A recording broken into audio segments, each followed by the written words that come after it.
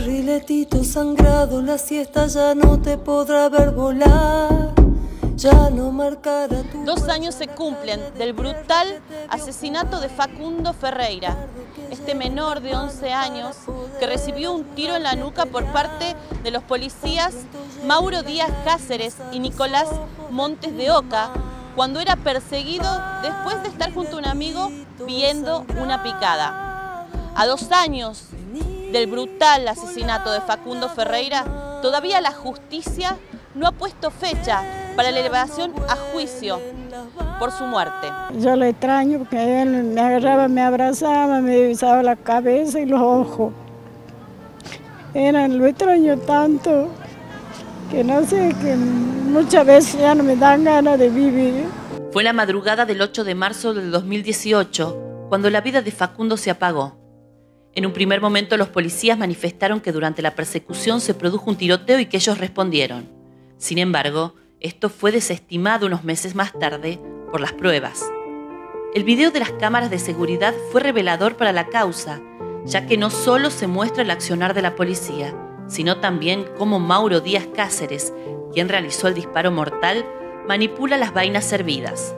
Incluso, en un video aportado por un testigo se escucha al amigo de Facundo pedir ayuda y los uniformados no solo no lo atienden, sino que lo ningunean y lo maltratan.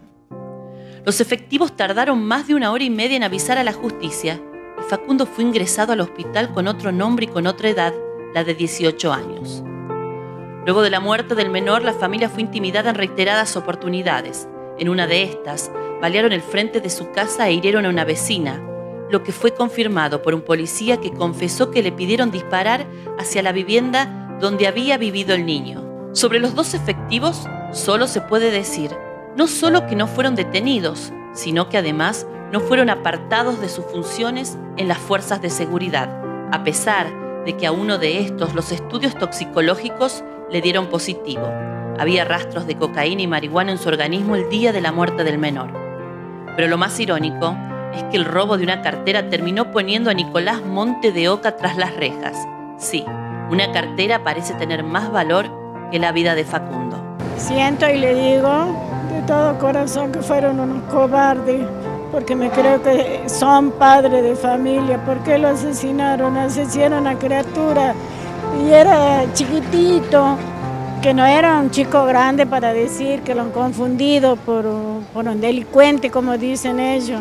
Muchas veces fuimos amenazados, amenazado, me le mataron el perro que era de él, me balearon mi casa. Y siempre eh, también he denunciado, yo de un policía de la sección Alcesta, que ya lo cambiaron, gracias, le agradezco al comisario Alcesta, que me venía y me amenazaba en mi casa, hacía tiro, todo.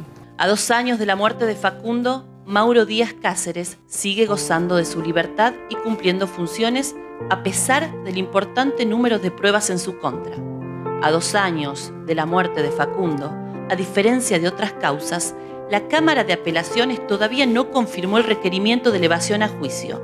Ya pasó mucho tiempo para la familia, que siente que la justicia mide con otra vara a los que viven en la pobreza. Todos luchamos por la misma causa.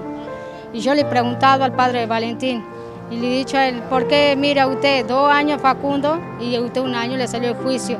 ¿Sabe qué me respondió él?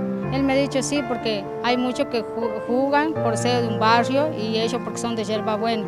Y él me decía a mí con la mano en el corazón, se va a hacer justicia por su hijo. Sí, yo sé que se va a hacer justicia, pero yo sabe lo que yo más, más, más me, me pongo mal por ahí porque decide que no somos de barrio, no se hace justicia todavía por Facundo. Este es el merendero Negrito Facundo. Fue fundado por Mercedes, su abuela, unos meses más tarde de la muerte de Facundo.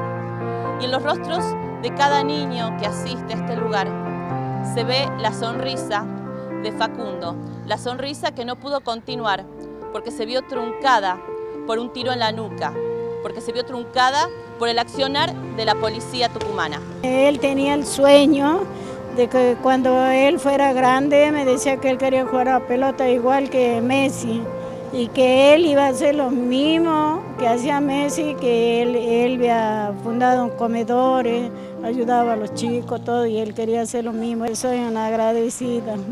Dios se lo llevó, y me pusieron todo esto para bien y sé que los chicos contentos porque verdaderamente hay mucha pobreza y hoy tienen los chicos para tener su café a la tarde y una vez a la semana hacemos el comedor porque tenemos muy buena gente, vecinos, todos que nos colaboran, especialmente la, la poderosa. Ellos vienen, me ayudan a mí, me dan fuerza para seguir viviendo.